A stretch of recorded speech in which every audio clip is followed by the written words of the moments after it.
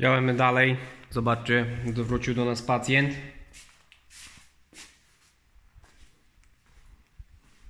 T7060. No i co wam powiem? Serwis stanął na wysokości zadania, ponieważ dostarczył klientowi odpowiednie części. Eee, zawór mamy już w tej chwili zamontowany. Akurat Daniel już go zarzucił, bo mnie chwilowo nie było. Eee, dzisiaj mamy sobotę, w poniedziałek go odpowietrzymy, odpowietrzymy hamulce, no już wstępnie go uruchomił. Eee, natomiast, natomiast, no co, no i w tej chwili zaczyna nam to wszystko normalnie działać. Czyli możemy sobie bez najmniejszych oporów podpinać przyczepę, kiedy ciągnik jest zapalony.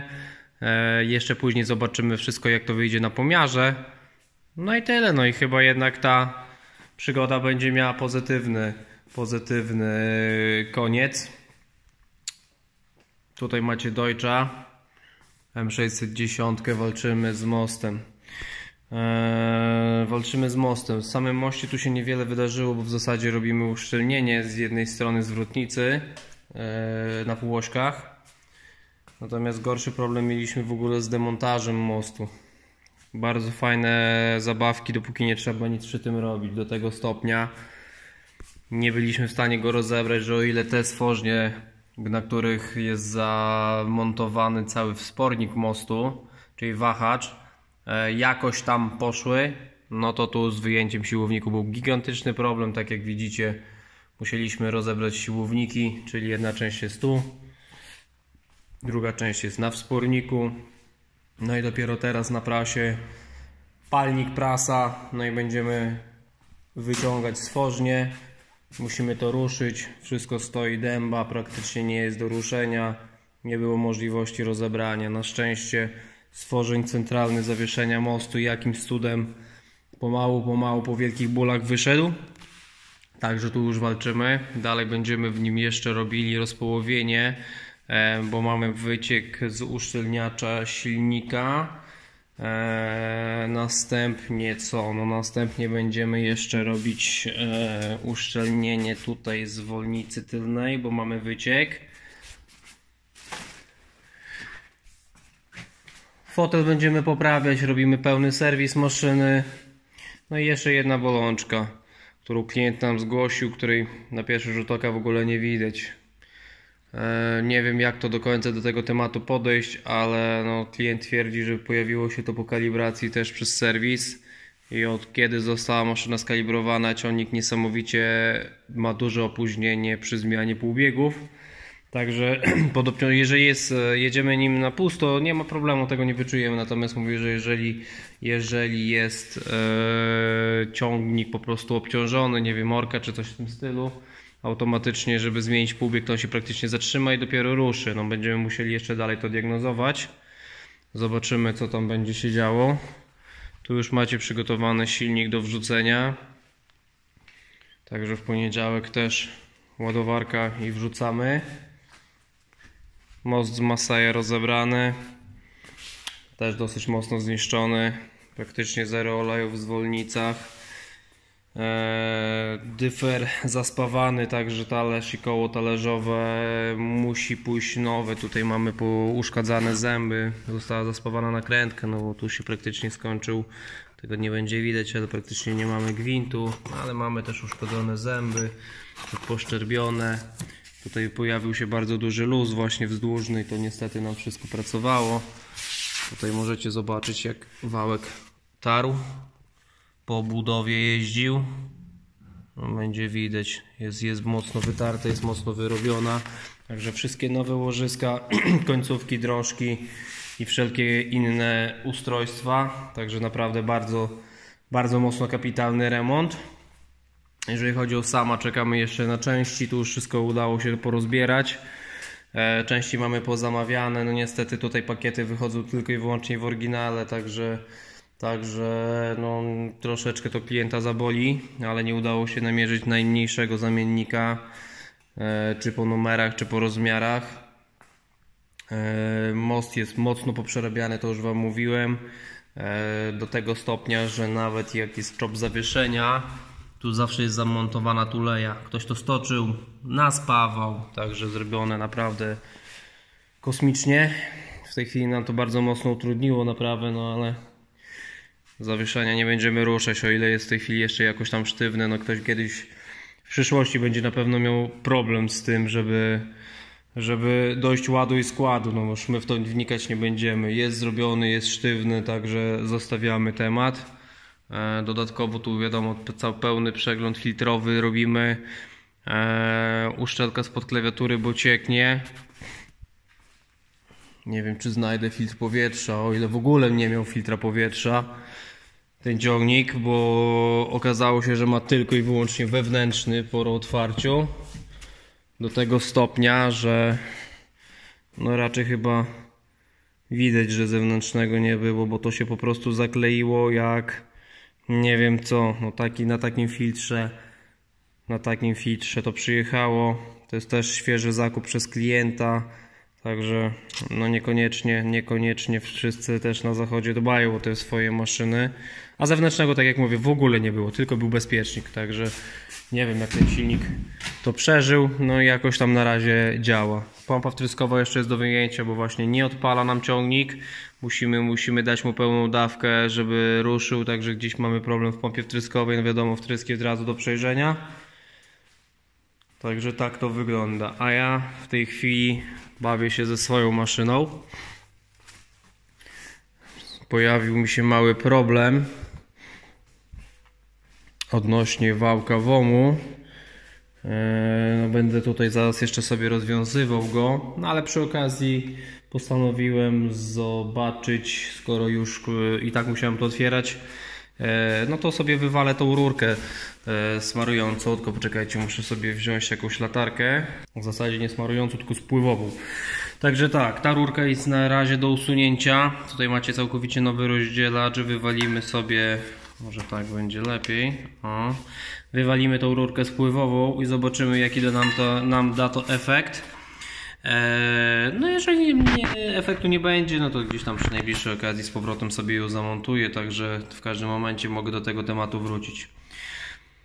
Jest plan przerobienia rozdzielacza.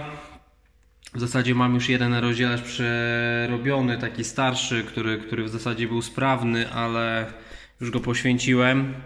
E, a mianowicie chcę zrobić taką rzecz, żeby poprawić kolejny raz fabrykę. E, no nie pokażę Wam różnicy, ale myślę, że będzie gołym okiem widoczna, o ile to się uda. Także na razie wcale się nie będę tym chwalił, po prostu powiem Wam o co chodzi. E, ze względu na to, że no to będzie taka próba naprawdę, no uda się, nie uda się. No ciężko mi naprawdę jest w tej chwili powiedzieć, jak to wyjdzie. Chcę zrobić taki myk, żeby przede wszystkim, e, jako że mam szybką pompę, znaczy wydajną pompę, która no, zwiększa nam mi prędkość, szybkość e, podnoszenia tutaj właśnie tuza. Problem jest tego typu, że w momencie kiedy się zatrzymuje jest takie nagłe szarpnięcie w momencie kiedy odcina olej. Chcę zrobić coś takiego jak jest właśnie w dużych Ursusach i w ogóle w większości ciągników, że, że, że podnośnik idzie a w pewnym momencie po prostu bardzo pomalutku dobija e, do, górnej, e, do górnego tego ograniczenia, na jaki ustawiamy dźwignię. No jak to się uda, to zobaczymy. Na pewno Wam się pochwalę, jeżeli się uda, jeżeli nie, no to też Wam się pochwalę, po prostu powiem, że się nie udało. No niestety tak, tak to wygląda. E, druga opcja, którą też chcę zrobić z rozdzielaczem, na pewno osoby, które używają rozdzielacza e, głównego, czyli tego oryginalnego do pracy z ładowaczem, wiedzą o co chodzi. Nie jesteście w stanie, nie jest praktycznie możliwe e, ustawienie, żeby pomału coś podnieść, pomału coś opuścić. No, prawie nierealne, żeby, żeby po prostu ten moment wycyrklować sobie, że żeby puścić mniejszą ilość oleju bądź e, nie otworzyć zaworu e, no tak, żeby po prostu ten tur szybko opadał. No to jest duża bolączka. E, no ja też bym chciał mieć po prostu możliwość wolniejszego unoszenia, nie wiem, chociażby podbieraka w prasie, żeby to nie było uderzenie ciśnienia. No i będę próbował jeszcze w tym zakresie przerobić na pewno rozdzielacz, żeby po prostu miał tą funkcję tak zwanego miękkiego startu, czyli puszczenia mniejszej ilości oleju, a nie od razu uderzenia. E, tutaj macie dekiel.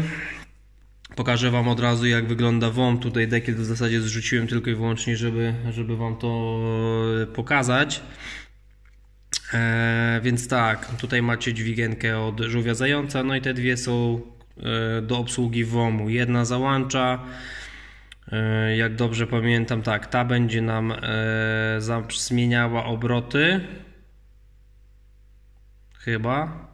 Chyba tak, bo leży odwrotnie. Natomiast ta służy do załączenia e, po prostu 0,1, czyli wałek jest włączony bądź wyłączony, bo funkcja, funkcja zależna od biegów jest w tej chwili zablokowana. Nigdy i tak tego nie używałem. E, Jeżeli chodzi o sam, sam e, samo przełożenie 540-540 Eco, wrzucę troszeczkę latarkę, muszę się jakoś tam Wam dostać. No mniej więcej coś widać. Macie dwa koła zębate w tej chwili. Wyostrze mi się nie w tym miejscu co trzeba, no nic. E, mniejsze koło zębate jest od... e, Będzie ciężko, no dobra. E, To mniejsze koło zębate jest od e, 540, to większe jest od prędkości Eco. I tutaj dodatkowo jest przerobione sterowanie, czyli jest rozdwojony wodzik. Ten wodzik jest, służy do zmiany obrotów, natomiast ten jest przerobiony, został przespawany, minięty i ten nam załącza tutaj poprzez tą tuleję właśnie tylną. Teraz akurat są zdjęte widełki, bo też jeszcze tam sobie troszeczkę poprawiam. E, W ten sposób jest to rozdwojone. Kolejna rzecz to jest WOM. To jest WOM. Yy, WOM. No na zasadzie dobrze mówię, sprzęgło WOM. Eee, tak to wygląda. Tylko muszę sobie jakoś to w miarę doświetlić w tym momencie. Tak to wygląda. Czyli jest po prostu dorobiona tuleja. E, Jest to podwójne sprzęgło, podwójne widełki, jedne w drugich, to jest, to jest w zasadzie zaadaptowane z Zetora. No i na potrzeby 3PK jest dołożona właśnie tutaj ta, e, ta flansza, żeby wydłużyć po prostu łożysko, ze względu na to, że no w 3PK wszystko jest troszeczkę dalej odsunięte. Są dłuższe wałki sprzęgłowe, e, łożysko pierwszego stopnia, tuleja też jest dłuższa, no i automatycznie, analogicznie musiałem e, zmienić też ten, e, tą odległość dla WOM-u. Łapki są od Zetora, czyli yy, te niższe odjazdy, te tutaj z tymi wyższymi blaszkami góra i dół są yy, tutaj od WOM-u. One się, za, one się po prostu yy, opierają, yy, one się opiera łożysko to większe. No i na tej zasadzie jest to zrobione, czyli, czyli w tej chwili niezależnie, całkowicie niezależnie sterujemy sobie WOM-em, całkowicie niezależnie sobie sterujemy e, sprzęgłem, sprzęgłem jazdy. I co no więcej? No chyba nic więcej tutaj już nie tworzyłem. E, no tak jak mówię, no zobaczę co wyjdzie z tego rozdzielacza ewentualnie. Ja zaraz już ciągnik będę składał do kupy. E, zarzucę ten rozdzielacz, który mam. No i zobaczymy co to się będzie działo, jak to, jak to nam wyjdzie wszystko w praniu. E, ok, no działam sobie dalej.